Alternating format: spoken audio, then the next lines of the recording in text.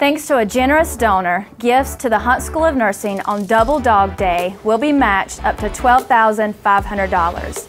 This has the potential to total $25,000 to help upgrade our existing equipment.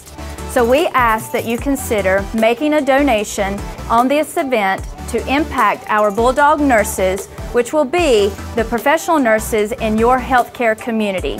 So I challenge you to make a difference and give.